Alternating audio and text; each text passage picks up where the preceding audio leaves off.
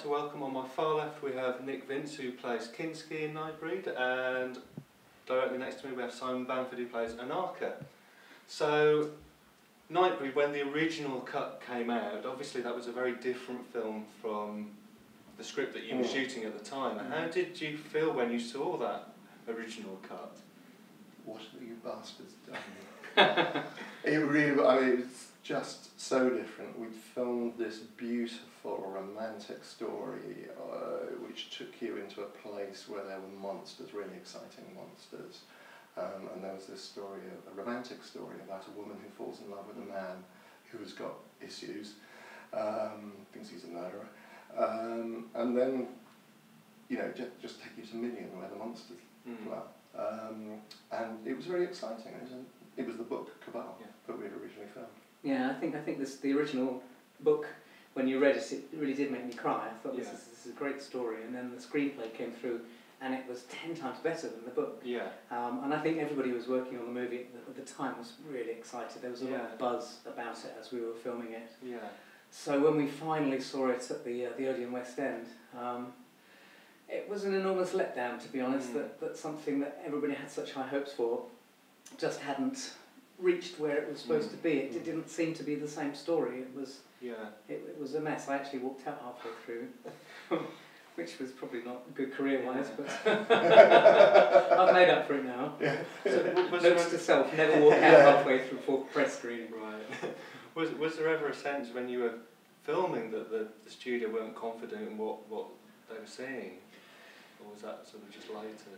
I mean, the kind of rumours. I mean, there are a number of stories. I remember the stories about Clive having arguments with Joe The- Roth and stuff. There was a little bit at the end where they realised they needed to do pickups, um, but there was no money for them. Yeah. And they had a big meeting at Pinewood, where all the cast and the crew were there, and they said, Look, we need to do these shots to finish the film, but we have no money Yeah. left.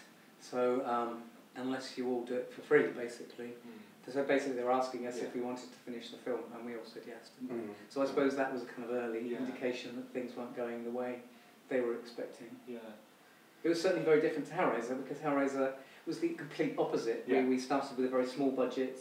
We were thought we were all making this very small English film, and then halfway through, the Russians got over to the States, and suddenly Right. all this money was being put into it, and rewrites and Yeah. changing the ending, and uh, they got very excited. So yeah, there was definitely a reversal from Mm. the two. Right. So, how did you feel when you heard that the, you know some missing footage had been unearthed and that they were going to work on creating the Cabal cut? Hugely excited, hugely excited. There'd been a kind of a, a growing interest from uh, people we'd met at conventions. Um, more people were talking about the film, um, and there'd been more chatter about it online. So there was definitely an interest that was growing, and I talked to Clive about that, and, and he was very excited that something that I think he was very personally upset by his Yeah. treatment by the Mm. studios, by Yeah, everybody yeah, else. It was his second film, and he was kind of ruined by it in an awful lot of ways. Um, so the fact that he could kind of justify everything that he did Yeah. was was great in his eyes. Um, still, we still have to find the the, the film footage. Yeah. The VH, fo- Yeah. Footage is, is is good, but the film footage would be even better. Sure. I think. And having seen it just then, I also think if they could get maybe uh, Danny Elfman to maybe write some Mm. new Yeah. um, underscore to it as well, that would help. Yeah. It's still very much a work in progress. Very much a work in progress. But incredibly, incredible. I I saw a work print of it um, at HorrorHound in the States a Yeah. couple of years ago. And that, to be honest, was a real mess. Yeah. Um, so I wasn't sure what to expect today, and Mm. I was really, really surprised. I was going to ask, obviously seeing it in the, in the Empire, what's your reaction now that you've seen the, this new cut? It's it's wow. it, it's just it's so close now to the original movie that we thought we were Yeah. making. I think that's the exciting thing. Um, there's so much more of Lori and Boone, and as I uh, mentioned earlier on, this this story about Lori and Boone and her relationship and what she eventually does for the man she loves. Uh, and in pursuit of the man she loves, it kind of makes just more sense and so on. And I was I was just going to say, the, you know, the bits uh, towards the end of the movie now, which I do find harrowing, Mm. where Uh-huh. he wants uh, As you it- should. as you should, you know, because you've got some emotional depth there now. Um, yeah, I, I love it. really, really excited. I think it has and- time at the beginning to let you empathise with the characters, which you never Yeah. did before. So you actually Mm. like the two leads, which of Yeah. course is crucial to, Yeah, to most films. Mm. Um, and then there's time at the end where you, you kind of again you empathise with the creatures being destroyed. Um, I think there's an awful lot more of Clive in there as well. There's there's kind of a lot of Mm. sexual, passionate innuendo, which is Mm. certainly there in the Hellraiser films. There's that kind of line between sensuality and passion and aggression, which aggression's maybe not the right word, but but that that that ultimate ultimate passion and and and, and uh, I don't know. because- Love. Because the the song that was missing from the from the that was the movie- great, wasn't it? and, um, and Bobby singing Johnny Get Angry. Um, that's just fabulous, and, and it, they kind of reprise it in the background towards the end as well. Mm. As I say, you know, there, there is a very there's a one thought. I don't think it's obsessional really. She loves it. You know, Yeah. she really loves Boone. He really loves her. Yeah, loves her, and that's what you get from the movie. But there's that nice scene where um, she, he, he's making love to her as he's changing, and there's that kind of Hellraiser-esque Mm. monster making love to a beauty, Beauty and the Beast Yes. Yeah. theme, I suppose. Yeah. Also, the religious themes I think come to the forefront a little bit more the, this time, which they didn't before, and again is very prevalent in the Hellraiser stuff. Yeah. But it's, it's just a better told story. You know, the, the story makes sense. You can actually follow the different characters through. You're saying that Ashberry now makes more sense because you can kind of follow his Uh-huh. moving through Midian as to what it is he's trying to do and what's going on. Mm. So yeah, yeah right.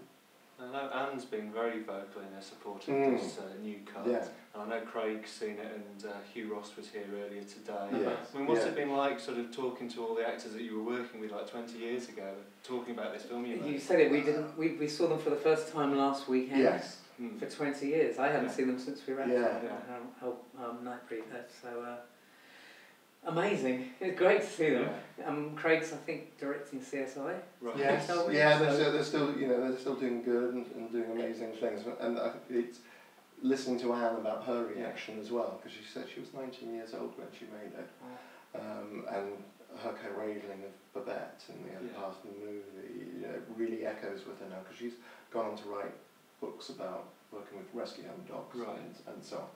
So it, it was just really cool to see them again. It's not often you get a chance to see people that you worked with so long ago in this business and uh, be involved again in something so exciting. Last weekend was particularly uni- unique because we had the Hellraiser cast and the Hellbound cast and the Nightbreed Right. cast. So that was um, a bit Yeah. of mindfuck. Yeah. Yeah. Um, final question, obviously, you've just mentioned Hellraiser. I mean, you're obviously both well known for your roles in the first two Hellraiser movies. Um, how do you feel about news that, that they want to do a remake and reboot this? Have Have you seen any of the um, artwork concept stuff that's out on the internet? No, internet? I haven't. It's worth looking at that. Mm. That actually made me very excited. Mm. I think I'm the unique Cenobite of the four of us that I could see. I can see the reasons for it. Yeah. Yeah. No. No, I agree with you. And No, when I uh, saw the yeah, concept yeah, art, I when I was exactly when I saw that concept art, it, we know that they tried to do a remake recently just so they could keep the rights, and they did it in two weeks. Yeah. But that No. wasn't a remake. No, that was that was just. just- uh, Even Doug didn't. no, no. Yeah, Yeah. don't talk about that one. um, so, and I think if you take it from a new angle, it is interesting. What they seem to have been doing is possibly taking you beyond the walls, if you like. Uh-huh. Looking at the artwork, it's possibly taking you more towards the like, you know, where the cenobites are. That could be interesting. Um, I don't know. Part of the mystery and the power of Hellraiser is you don't know where they came from. Uh-huh. You know, you, you know they come when you open the box, Yeah. but what their backstory is and so on, which is explored in later movies. And I actually is- think that's the power in the first two Mm, movies. Yeah, yeah. Is that you don't know where they come from. They have a kind of mystical religious context to them, which, dare I say, in the later movies, I don't think they do. They're because they've got CDs in their heads and, and cameras and things, so it's not quite. It's, It's not you- quite yeah. as powerful or as strong as image. It's like a building image. for Cenobites, really, isn't There are Lego Cenobites. there are out Lego there, Cenobites, somewhere. right? It's a great website. There's My Little Pony Cenobites. Oh, right. Yes. There's a Toy Story Yeah. Cenobite couple. That's an amazing find. kind legacy that Yeah. that film's well, got. we're looking at the Hello Kitty Cenobite. Hello. Kitty. Hello Kitty. Yeah, um, Cenobite. Winnie the Pooh. Uh, f- uh, Winnie the Winnie the Pooh. Pooh Cenobites. Wrong, just wrong. Uh, oh well, I guess we'll just have to wait and see what happens with that. But uh, The Teletubby Cenobites haven't quite made it yet. you never know. Nor should they. So what are your got, uh, your plans next with the uh, Cabal cards? Have you got any more s- screenings and festivals We, uh, to go attend? We are. We, I know we've got a very busy three days. We're doing Mm. Bar, uh, Derby, Cardiff, and Winchester over three days. Uh-huh. We've got that. We're going to Germany. Uh, weekend of horrors at the beginning of November. Uh, so end of September for the um, for the three days. Twenty something around. Yeah, twenty something of September. Between now and Christmas, there's, Yeah. there's pretty much every weekend there's something. There's uh, Paris and Vienna and Helsinki, which we're not going to So we're not going to. Um, uh, Chicago, Texas, Yeah. Austin, Texas, El Paso, uh, all over. It's it's going to be an amazing rest of the year.